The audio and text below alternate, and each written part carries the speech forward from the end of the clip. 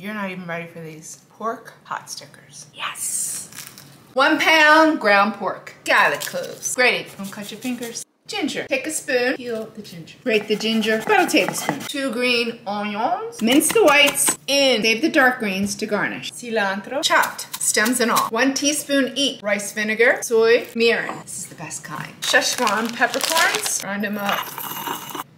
Sprinkle. Kosher salt. Two teaspoons toasted sesame oil. Best tools in the kitchen. Get in there. Marinate 30 minutes. Dumpling skins. Wet the perimeter. Don't overstuff it. Pinch the middle, pushing out the air. Crimp one side and do the other side. Just like that.